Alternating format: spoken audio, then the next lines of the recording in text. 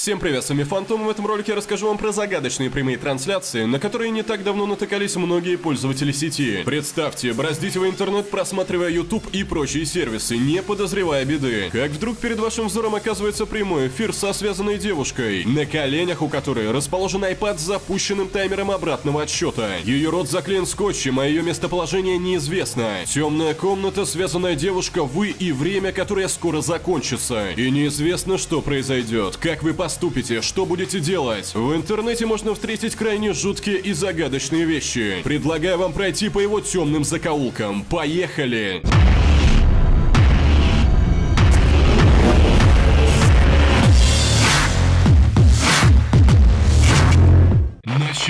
29 мая 2017 года в 14.00 по московскому времени началась загадочная трансляция. В кадре была девушка с залепленным ртом, привязанная к стулу. Понять, где именно она находится, было крайне проблематично. Темная комната, элементы интерьера были еле видны. Можно было бы предположить, что это какое-то заброшенное здание или же подвал. Однако эта информация ничего зрителям не давала, ведь существуют тысячи подобных мест. На коленях девушки располагался планшет, на котором тикал обратный отсчет. Девушка вела себя тихо, стараясь не издавать звуков. Многие зрители, которым удалось попасть на трансляцию, были испуганы. Их взволновала судьба, а самое главное жизнь девушки. Пользователи сразу начали высказывать предположение о том, что все это устроил маньяк. Что по истечении времени жертва будет убита в прямом эфире. Или произойдут другие страшные события. Изначально трансляцию можно было нагуглить по запросу, который вы видите на экране. Но в дальнейшем названия менялись. Они представляли из себя, казалось бы, рандомный набор символов. Идея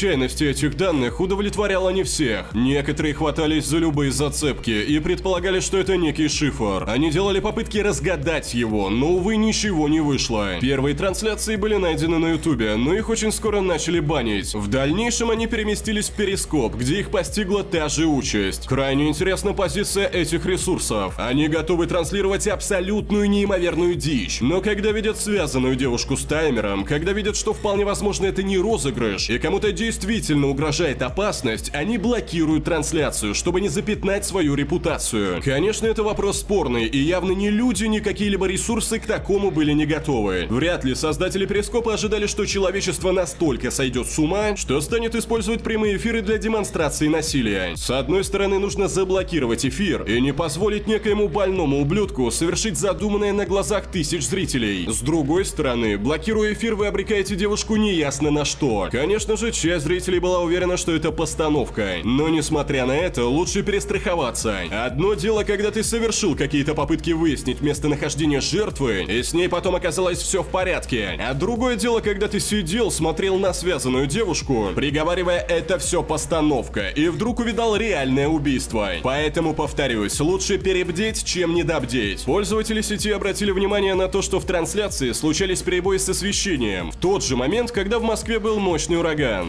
многие сообщили информацию о прямом эфире правоохранительным органам. Пожалуй, самым главным ключом к освобождению или же хотя бы к определению местонахождения девушки было радио, которое играло на заднем фоне, а именно радиостанция «Говорит Москва». Одному из зрителей трансляции удалось дозвониться в радиоэфир и объяснить ситуацию. Связь с девушкой можно было наладить только через них. Радиоведущие, недолго подумав и переварив произошедшее, начали задавать девушке вопросы. Все происходило с задержкой, трансляция постоянно обрывалась и зависала, но некоторую информацию им все же удалось получить. Отвечала она, соответственно, кивками, иных способов не было. Она давала довольно противоречивые ответы. С одной стороны, она знать не знала, где находится. С другой стороны, ответила, что это, похоже, юг Москвы. Хотя какие безошибочные ответы можно ожидать от связанной девушки? У нее даже успели выяснить несколько цифр ее номера телефона, прежде чем трансляцию вновь заблокировали. В любом случае, количество полученной информации было ничтожно мало, а время уже подходило к концу. Это была последняя трансляция, и закончилась она за 8 минут до конца таймера. Было видно, как в кадре в конце разбивается бутылка или нечто подобное. Больше трансляций не появлялось, время вышло. Зрители были оставлены наедине с кучей вопросов. Что случилось с девушкой? Кто все это устроил? И было ли это реальностью или же постановкой? Все это целую ночь мучило пользователей интернета, которые случайно наткнулись на злосчастную трансляцию. Что это было? Развязку эта история получила на на следующий день. Оказалось, что это был эксперимент группы Black Elephant. Эксперимент, направленный на изучение реакции пользователей социальных сетей. Девушка, разумеется, была жива и даже записала короткое послание, сказав, что именно за ней люди наблюдали в течение множества часов. Именно она сидела связанная в подвале с таймером. Девушка обвинила Перископ, YouTube и ряд соцсетей в том, что они блокировали аккаунты со стримом, не давая вычислить местонахождение, опасаясь за свою репутацию, и завершила обращение словами «Будь это все на самом деле, я бы с вами уже не говорила». Разумеется, эксперимент вызвал многочисленные возмущения. Были даже попытки подписать петицию, чтобы его создатели принесли публичные извинения. Очень многих тронул этот инцидент. Люди бросали все дела и в ужасе долгое время наблюдали за судьбой девушки. А по итогам все оказалось экспериментом. Одни пользователи были рады тому, что никто на самом деле не пострадал. Другие же, конечно, были возмущены столь жестоким розыгрышем. Руководитель группы Black Elephant рассказал, что сценарий был написан заранее, и элемент с радиостанции «Говорит Москва» был добавлен специально, чтобы девушка выходила на связь со слушателями. По его словам, слушатели и службы спасения реагировали на просьбу о помощи слишком долго. Главной проблемой этого он считает соцсети, которые постоянно банили трансляцию и удаляли ролики. Как оказалось, за 5 минут до полуночи трансляцию в очередной раз забанили в перископе, и команда технически не смогла завершить эксперимент. В конце эфира девушка должна была снять изоленту с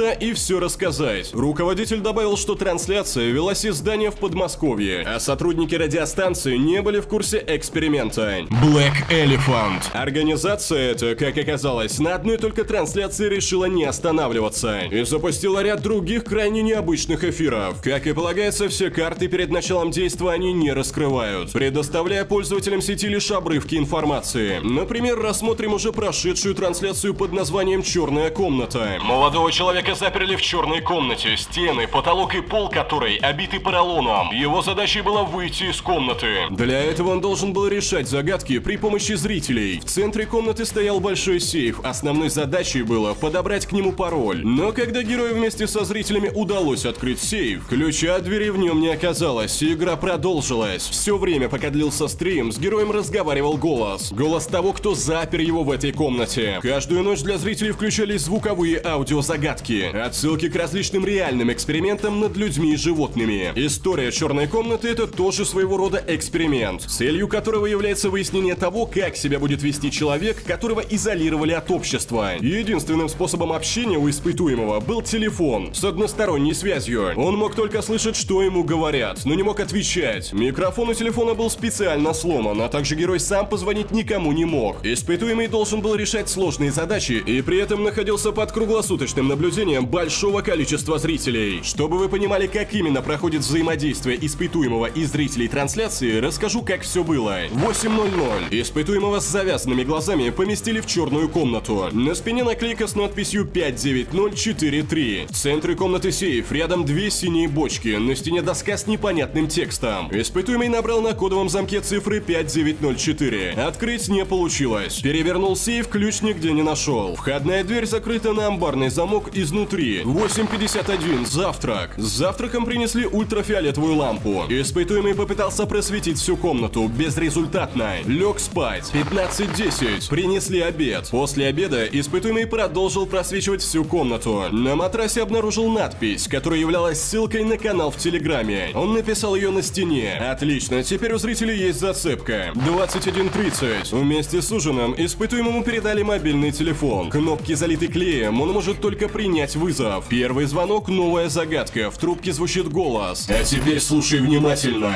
От этого будет зависеть, выберешься ты отсюда когда-нибудь или нет. Люди по ту сторону очень хотят помочь тебе, но они бессильны. Ты не видишь их сообщения, они не слышат тебя. Возможность узнать номер есть, но я не думаю, что они справятся. Затем зрители начинают разгадывать загадки, обрывки которых время от времени всплывают либо в самой комнате, либо в других источниках. Приведу примеры загадок. Первая загадка.